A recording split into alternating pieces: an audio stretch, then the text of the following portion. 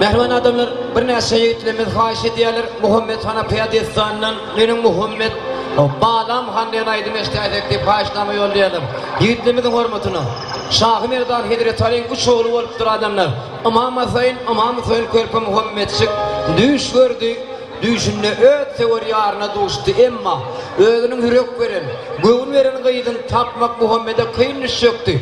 Şonda-da ejesinden, kakasyndan aw, şikarlar edesim gelýär diýip bahana edip, rugsat alyp, bezenip-beslenip ýola düşende, öňünden ekiz agasy gabat geldi. Ýerjigim jan ýol bolsun, nirä ugradyň diýende, Bulara-da bahana etdi. Onda bizem gideliň diýip rugsat alyp üç dogan ýola düşdi.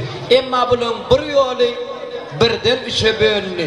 Daş belgilerine ýazylypdyr, Gitse geler, gitse gelmez, näbelli. Körpe Muhammetjik özüniň söwer ýaryna şo ýolladygyna doly we dogry göz ýetirip, Eý, agalam maňa şu ýoly beriňler diýip, Gitse gelmez diýen ýola rowana boldy. Aýlar aýlanyp. Ýyllar geçdi. Alyň ekiz ogly geldi-de, Muhammet gelmedi.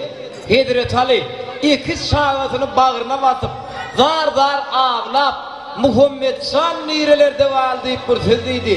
Bu sözden soň daglar, daşlar, suwlar lerzana gelip, Balam han diýen türkmen halk aýdymy dünýä inip, eziz ilime,